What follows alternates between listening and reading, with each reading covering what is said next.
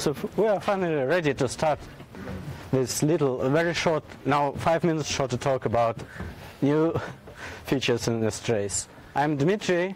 I'm a maintainer of Strace for quite some time, and today I'll give a short talk about new features, uh, just uh, just a few of them because, well, most of stuff we are doing is quite boring and nothing to talk about, but very important for these features and other new features to work.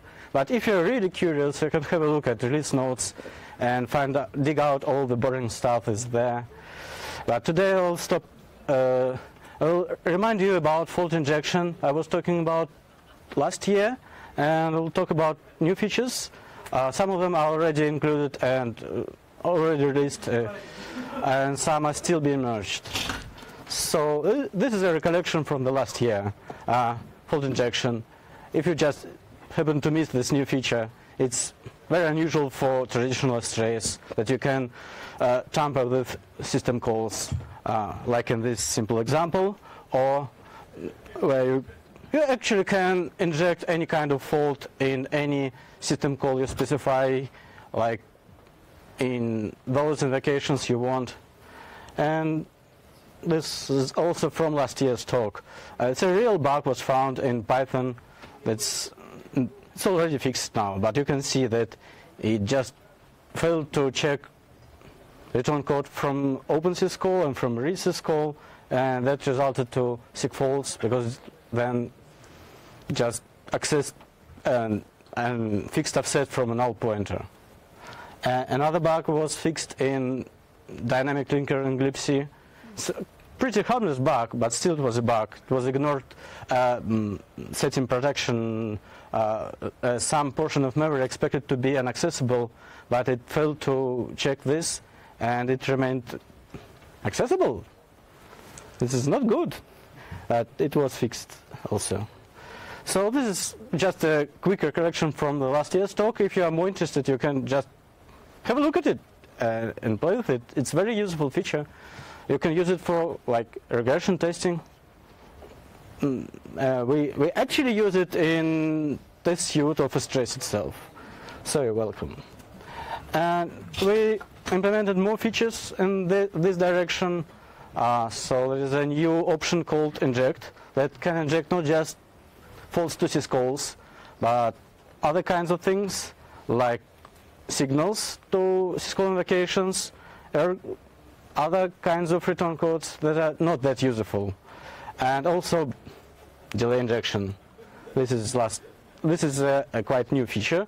It's not yet merged. That you can inject delays uh, in invocations on entering syscall, on exi exiting syscalls, and like if a trace wasn't slow enough, you can make it even slower in specific cases as you can see in this example, like how orders of magnitude is slow? One, two, like three orders of magnitude slower, just those specific syscalls you want to.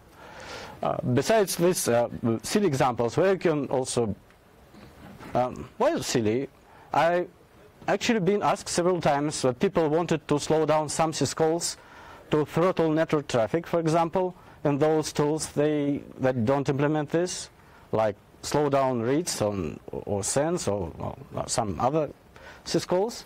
Uh, another kind of use for this feature is like in fault injection uh, case is for regression testing where you can specifically slow down some process that's expected to finish some to complete some operation very fast and if another process or thread is waiting for it for fixed time, this will fail. So this way you can do that kind of inject some delays that affect control flow.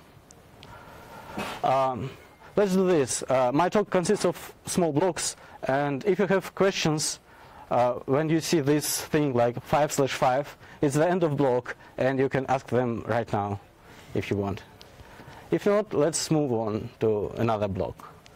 So this year, uh, actually last two years, we've been a project uh, mm, It, it was a Google Summer of Code GSOC project of two years uh, that implemented parser for mm, netlink traffic. Uh, the first year was uh, uh, ground, very groundwork, and last year we implemented the most popular netlink protocols, uh, starting with the route, and you can see like nine of them, and more are going to be implemented this year, I think, hopefully. Uh, how does it look? This is a very simple routing table. To to make this routing table, you you have to um, create like a, a, basic container with no network interfaces, just a loopback interface. Uh, if you create this, you will have just four uh, kernel um, kernel routes. Uh, so how does it actually look? What IP tool sees from the kernel? Let's. This is going to be a very impressive picture. Be prepared.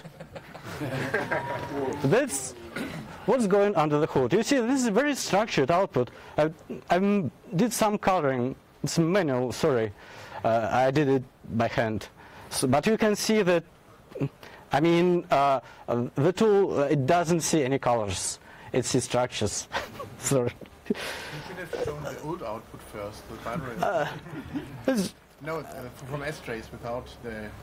Oh, sorry. Uh, it's just very simple. You will see syscalls, but without all these structures, it would be just string or pointer, depending on what kind of. As you, as you know, with CentOO, it would be uh, instead of this, instead of this structure that starts here, yeah, with curly brackets, you would, you would see. Oh, oops, sorry you would see just uh, in all the traces, you would see just a, a string, a, a, binary string that means nothing. But here you see like a structured output almost. Uh, no, this is a, a netlink route, but are also supported. You can see on this nine of them. So it's almost like a netlink debugger without uh, probably we can't really inject all this stuff inside the program, but you can see all this gory details. So then let's go on. Uh, another set of features we implemented uh, is related to syscall specifications. Uh, strace, as you probably know, have a lot of filtering, like it can filter syscalls by classes. This time we decided to add some more classes, but to avoid collisions with system calls, we added prefix. So all new system call classes are started with prefix uh, percent sign, and all all traditional system system call classes are also have this prefix. So these are traditional, and we also did like for different stat family syscalls. Uh, you can see in this example how it looks like. What does it mean, 2%? Just the, the way to describe all start process family syscalls. Why so so many? Uh, how do how many fstat system calls do we have in Linux kernel? Do you think? Four, six, five. uh, why five? Well. Uh, 64-bit architectures usually have two of them. 32 uh, bits also two, but different. And there is also an engine system call that modern architectures don't have. But you don't have to worry about all these details. Just use the system call class name. Uh, that's all, as you can see in this example. Uh, on the 20, on the on the 27th year of the project, we decided uh, we found out that we don't still have support for regular expressions. How could that be? So we did this, and you can see that the same example from the previous slide could be could be like using you can do the same thing using regular expressions. Um, I, I don't think it looks easier to use, but you, with regular expressions, you can do all different things. Oh, thank you. the time is going back. uh, another feature of system, system call specifications uh, is conditional expressions. Uh, as you probably know, um, system calls are added like every or almost every new Linux kernel release, and they are not added to all architectures at the same time. It's not normally the case. For example, the recent uh, from a stat family called statx, it was added for many architectures, but not for all. And if, for example, you, you, write a somewhat portable script using a trace, you will get into the situation that it works in most cases, but doesn't work on uh, architectures like Itanium, where statx up to this point is not yet right up. So to using this conditional specification, you can work around this. And this is a real case example. Um, you will probably seen this or will see in future that GNU-libc switched from open to openat internally and also to, for implementing open library call. So if you used to trace by open, it no longer works starting with, with libc 2.26. Uh, but if you switch to openat, you won't be able to trace all the glibcs. It's not good. So you can use the list, but it's not portable because open is not available on some architectures. So how can write a portable trace script? You can use a regular expression or you can use a condition. So there are two examples. Which one is easy to read, do you think? A regular expression or? Condition. I think condition. That's why we added condition, despite that with regular expressions you can describe the same thing, but it's usually looks more complex. Yes? I don't understand the condition. So it's it it says that this syscall specification doesn't happen to match any real system call. So you can write foo bar, and it will trace will not trace any foo bar because there is no foobar syscall. And otherwise your regular expression would be invalid. Yeah, if you just type a syscall or regular expression that doesn't match any syscall, a trace will not run, it will issue an error, as you can see. Uh, yes, sorry? Why not make it a default? Why not make a condition a default? Why not make a condition a default behavior was the question. Uh, first of all, you won't detect any accidental errors people do errors uh, sometimes. and it would be a change of behavior. And for a project of 26 or 27 year old, it's not a good idea actually to change uh, behavior in a backward incompatible way for not a not, not really good reason. Okay, the last topic uh, is advanced syscall filtering syntax. Um, this was implemented uh, also as a part of Google Summer of Code project last year, and it allows even more flexible specification of syscalls. Uh, for example, uh, you can trace by file description number um, without, well, with traditional syntax, you can just either trace by specification, as you can see, or could see before, or you can dump by file description number. Now you can combine all these things you can combine actions. Default is, tra is trace. You, you don't have to specify it. It's written here, trace, but you can omit it, as you can see on following slides. You can also combine um, different kind of things, like you can, as you can see in this example, you can trace read syscall and dump only those syscalls that access a specific file. This way you will see that in slightly artificial example, you can see that uh, some program accesses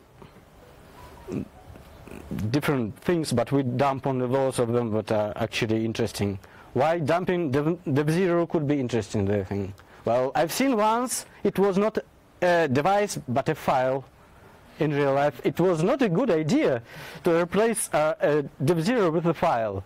I think somebody just with a um, super user privileges redirected output there, and some or did something like this stupid thing, and well, uh, you can use logical expressions like and, not, brackets. And this way you can do very flexible filtering.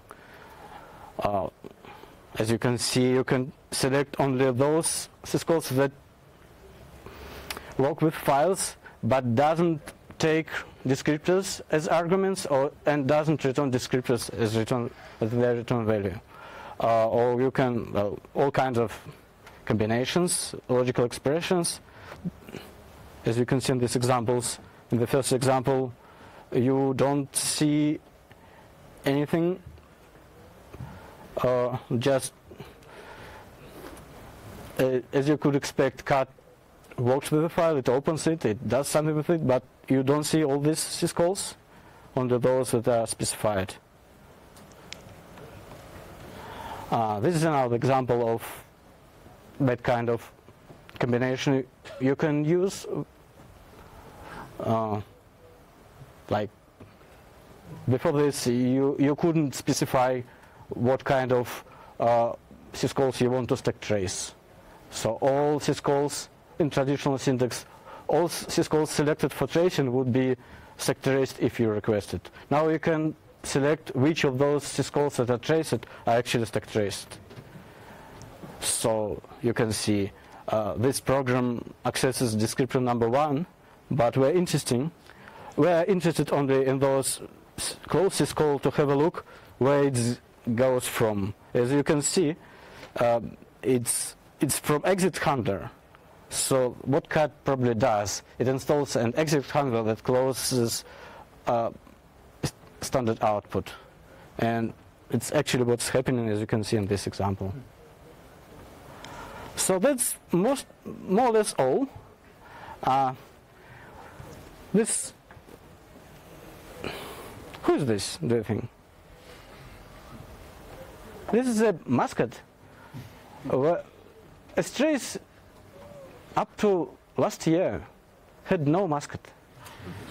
So we're very happy that we have one meet our new mascot. If you have any questions.